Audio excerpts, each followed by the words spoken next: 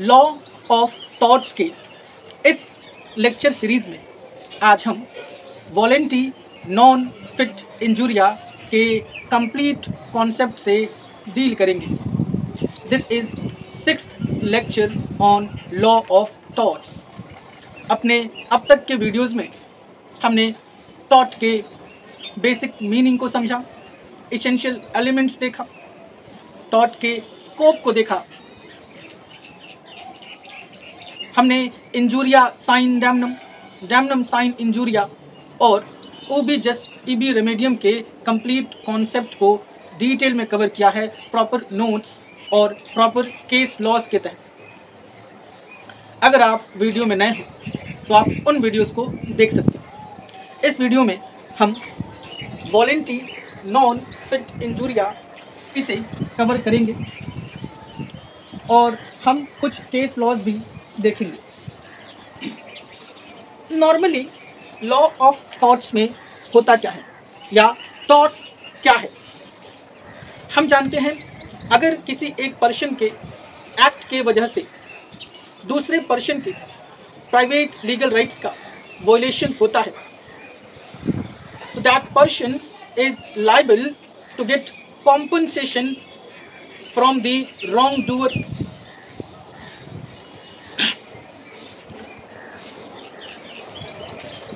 तो if he is a person और इसके किसी एक्ट या ओमेजन के वजह से दूसरे पर्सन के प्राइवेट लीगल राइट्स का वॉयलेशन हो रहा है।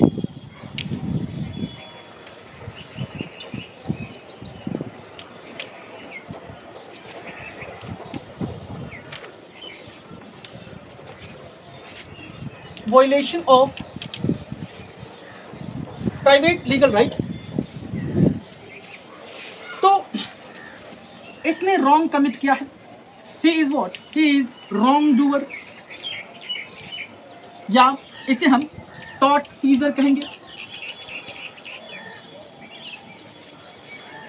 और इसके, इस एक्ट के वजह से, इस ओमिजन के वजह से, इस पर्सन के प्राइवेट लीगल राइट्स का वोलेशन हुआ है तो he is what he is plaintiff और इसे हम रॉन्ग सीकर कहेंगे।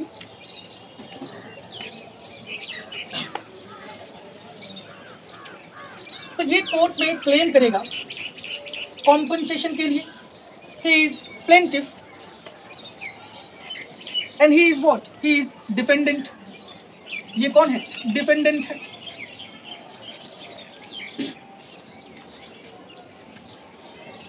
तो अगर किसी पर्सन के एक्ट या ओमिजन के वजह से दूसरे पर्सन के प्राइवेट लीगल राइट्स का वोलेशन होता है तो this person under law of torts is held liable to pay compensation to the plaintiff लेकिन कुछ केसेस हैं, जिन केसेस में टॉट फीजर या रॉन्ग डूअर को कुछ डिफेंसेस मिला हुआ है। और उन्हीं डिफेंसेस में से एक है volenti non fit injuria volenti non fit injuria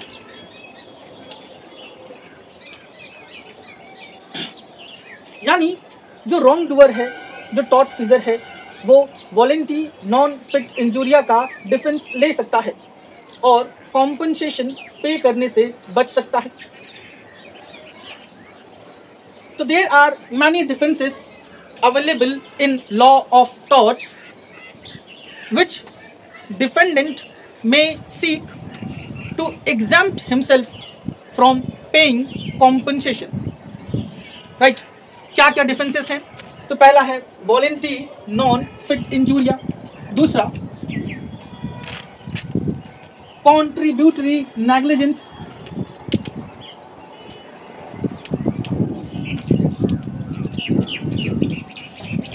तीसरा। X terpy Kausa x terpy Kausa non ओरिजिन x you inevitable accident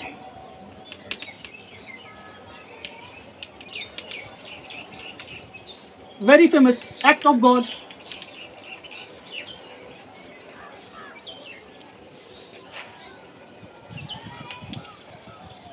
necessity private defence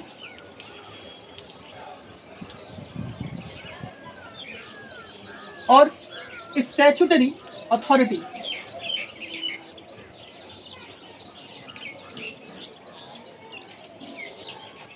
so there are many defences available under law of torts जिसे अपना कर या जिसे प्रूफ करके defendant compensation pay करने से बच सकता है। There are many defences available लेकिन एज पर योर सिलेबस हम इन डिफेंसेस को अपने आने वाले वीडियोस में कवर करेंगे एकदम डिटेल में। आज इस वीडियो में हम वॉलेंटी नॉन फिट इंजूरिया इसे कवर करेंगे। तो एक बात क्लियर है कि वॉलेंट्री नॉन फिट इंजूरिया, क्या है it is a defence available in law of torts which wrong doer और tortfeasor may apply to exempt himself from paying compensation और to exempt himself be held liable for that right. Lecture थोड़ा लंबा हो सकता है, लेकिन मेरी ये कोशिश रहेगी कि मैं इस टॉपिक को एकदम डिटेल में विथ हंड्रेड परसेंट ऑनेस्टी आपको समझाऊं, ताकि दूसरे वीडियोस आपको ना देखने पड़े। ठीक है? देखो volenti non fit injuria it is a Latin maxim और वॉलेंटी से आप वॉलेंटरीली वर्ड को रेफर करो। वॉलेंटरीली मीन्स खुद से। बाई ओन अपनी स्वेच्छा से, अपनी इच्छा से, अपने कंसेंट से। राइट तो volenti means voluntarily it means to a willing person to a willing person, it is no wrong, which means अगर एक पर्सन ए एंड बी अगर एक पर्सन अपना कंसेंट देता है किसी एक्ट को करने के लिए, ये जानते हुए कि इस एक्ट के क्या क्या पॉसिबल कॉन्सिक्वेंसेस हो सकते हैं। तो एक पर्सन जो किसी एक्ट के कॉन्सिक्वेंसेस को जानता है, फिर भी उसे करने के लिए अपना कंसेंट देता है क्या उसमें पार्टिसिपेट करता है। उसमें उसकी भी भागीदारी रहती है। तो अगर कुछ गलत होता है तो वो पर्सन कॉम्पनसेशन नहीं क्लेम कर सकता है। जैसे एक example suppose he is Mister A और ये है Mister B they both are friend ये दोनों क्या हैं? दोस्त। Mister A is having a bike ठीक? बाइक का जो ब्रेक है, ब्रेक फेल है। मिस्टर बी इस बात को जानते हैं कि मिस्टर ए का जो बाइक है, उसका जो ब्रेक है, वो फेल है। फिर भी मिस्टर ए के साथ बाइक पर बैठते हैं और दोनों लॉन्ग ड्राइव पर विथ फुल स्पीड निकल जाते हैं। And because the brake was fail तो एक्सीडेंट हो जाता है। तो यहाँ पे मिस्टर बी ये डिफेंस नहीं ले सकते हैं कि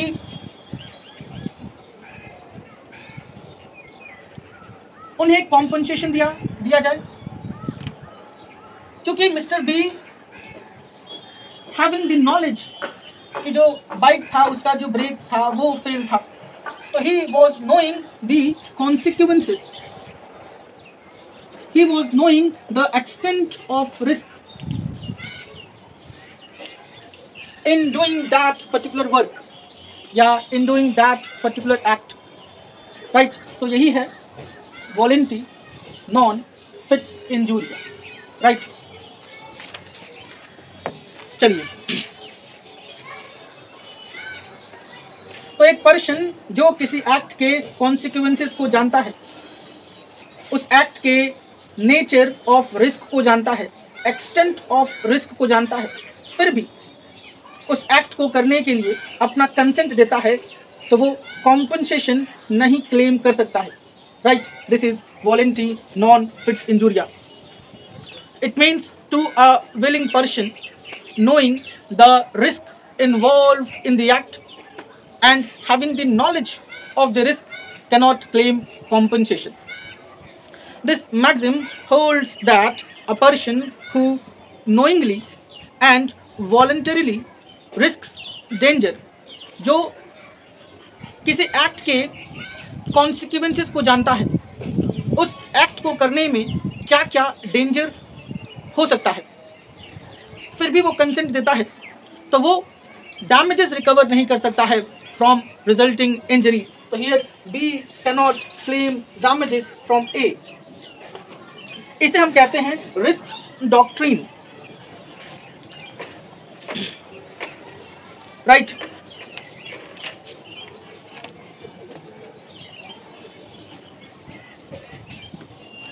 now, what are the essentials of this maxim?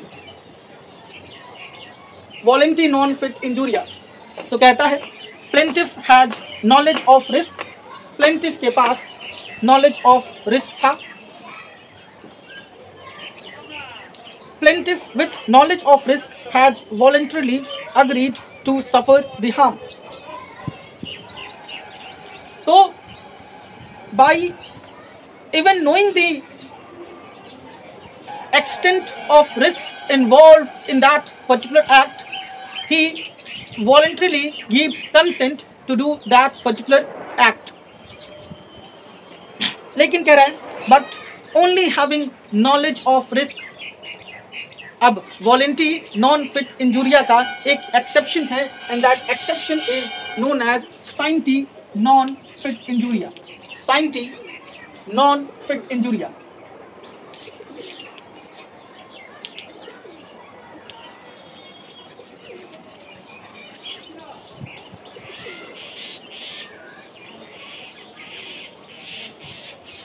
Voluntary non-fit injuria is a defense और साइंटी नॉन फिट इंजूरिया क्या है? It is an exception of volenti non fit injuria scienti non fit injuria कहता है mere having knowledge of risk does not mean consent to the risk क्योंकि केवल आपको risk का knowledge था, इसका मतलब ये नहीं है कि आपका वहाँ पे कंसेंट भी था। इसे हम अपने नेक्स्ट वीडियो में कवर करेंगे। Right scienti non fit injuria को हम अपने नेक्स्ट लेक्चर में कवर करेंगे। समझो, जो बेसिक डिफरेंस है वॉलेंटी नॉन फिट इंजूरिया में और साइंटी नॉन फिट इंजूरिया में। वॉलेंटी नॉन फिट इंजूरिया कहता है हैविंग नॉलेज ऑफ़ रिस्क और voluntarily knowing the knowledge of या to a willing person, it is no wrong. लेकिन scienti non fit injuria कहता है कि क्योंकि आपको रिस्क का नॉलेज था, इसका मतलब ये नहीं है कि आपने कंसेंट दे दिया था। Right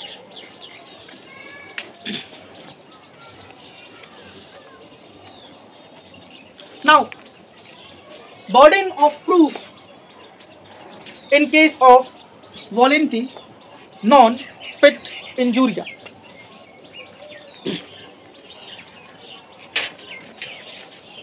burden of proof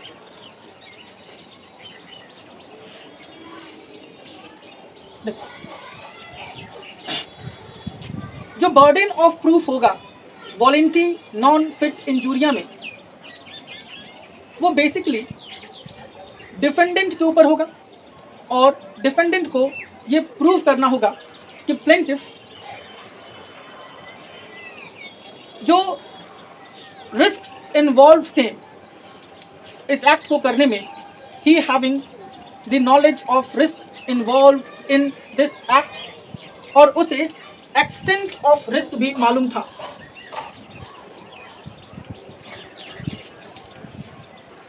It is up to the defendant, अगर defendant volenti non fit injuria का डिफेंस लेना चाहता है तो उसे ये प्रूव करना होगा कि plaintiff was also aware of the extent of risk which was involved in this act for successfully taking this defence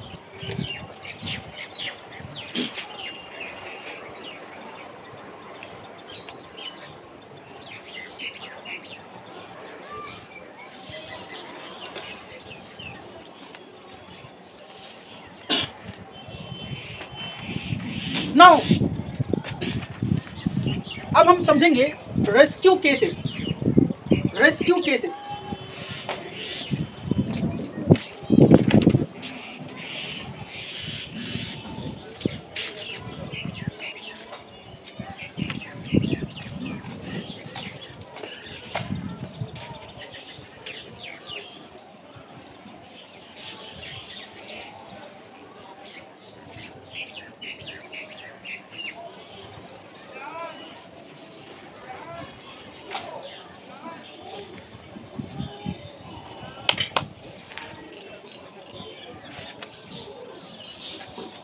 rescue cases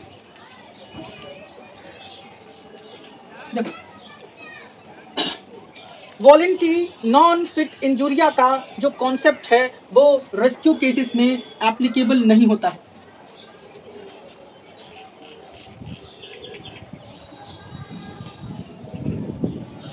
An act which is, an act which is associated with an act which is associated with rescuing others. एक act जो कि दूसरे persons को rescue करने से जुड़ा हुआ है प्रोटेक्ट करने से जुड़ा हुआ है, किसी डेंजर से उन्हें बाहर निकालने से जुड़ा हुआ है। तो उस एक्ट पर वॉलेंटी नॉन फिट इंजूरिया का जो प्रिंसिपल है, वो एप्लीकेबल नहीं होगा। और अगर प्लेंटिफ ने किसी पर्सन को रेस्क्यू करते समय अगर उसे कोई लॉस हुआ है, कोई इंजरी हुआ है तो उसके लिए वो कॉम्पनसेशन ले सकता है and defendant is liable to pay compensation अब इसे हम एक एग्ज़ाम्पल से समझते हैं। मान लो कि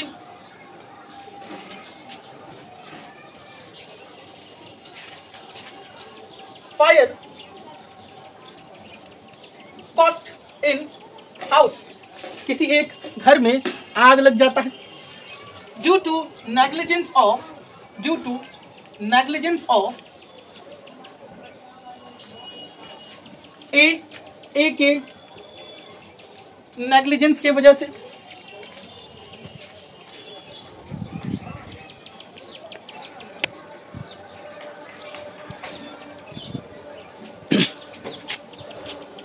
घर में आग लग जाता है ए के नेग्लिजेंस के वजह से। और इस हाउस में बी वॉज़ ट्रैप्ड बी जो है फंस गया था। और ये बचाओ बचाओ चिल्ला रहा था। ठीक है? ये देख करके सी क्या करता है? सी एक पर्सन है तो एक के नेग्लिजेंस की वजह से इस घर में आग लगा। बी यहाँ पे फंसा हुआ है। और सी ने ये देखकर तुरंत बी को बचाने के लिए बी को रेस्क्यू करने के लिए घर में चला जाता है। अब यहाँ पे सी ये जान रहा है कि is already knowing that entering into a house which is already burning may cause several burns to him तो इस रिस्क को जानते हुए भी सी इस घर में पहुँच जाता है बी को बचाने के लिए। In order to rescue B तो सी के पास नॉलेज है about the risk involve in rescuing B लेकिन फिर भी ये इस घर में चला जाता है, जिसकी वजह से बी बच जाता है। लेकिन सी को सेवरल बर्न्स हो जाते हैं। हैवी इंजरी इसे हो जाता है। तो यहाँ पे चूँकि the fire caught due to negligence of A तो A is liable to pay compensation to the C. Right?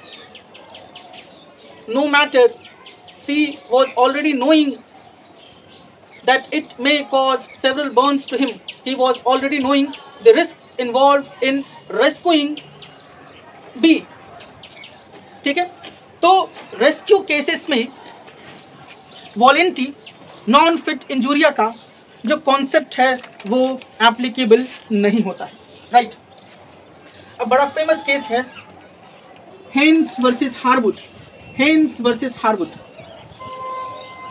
Haynes versus Harwood it is a leading case on rescue cases और अगर हम रेस्क्यू केसेस की बात करते हैं और वहाँ पे हेन्स वर्सेस हारवुड केस को रेफर नहीं करते हैं तो ये नाइंसाफ़ी हो जाएगा। ठीक है? अब यहाँ पे क्या था? इन ब्रीफ अगर हम इस केस को समझें तो the servant of defendant defendant के सर्वेंट ने दो हॉर्सेस लाए थे। पुलिस स्टेशन के नज़दीक एक अस्तबल था, वहाँ पे घोड़ों को रख दिया गया था। अब अराउंड दी स्टेबल बच्चे खेल रहे थे। और उन्हीं बच्चों में से किसी एक बच्चे ने उन घोड़ों के ऊपर पत्थर फेंक दिया, पत्थर मार दिया, जिससे जो घोड़े थे वो अपसेट हो जाते हैं और अस्तबल के दरवाजे को तोड़ देते हैं। अब चूँकि बगल में पुलिस स्टेशन था पब्लिक गैदरिंग था तो पुलिस ऑफिसर ये देखता है और उन घोड़ों को रोकने के लिए वो जाता है, जिसके वजह से उसे इंजरी हो जाता है। And therefore policeman brought a case against the owner of the horses for damages. Court ने कहा कि जो डिफेंडेंट है is liable to pay compensation और डिफेंडेंट यहाँ पे वॉलेंटी नॉन फिट इंजूरिया का डिफेंस नहीं ले सकता है।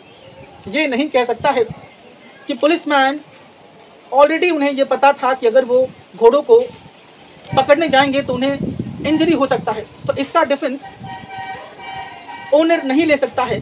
क्यों? क्योंकि ये जो एक्ट था पुलिसमैन का it was associated with rescuing the public public को बचाने से जुड़ा हुआ था। ठीक है?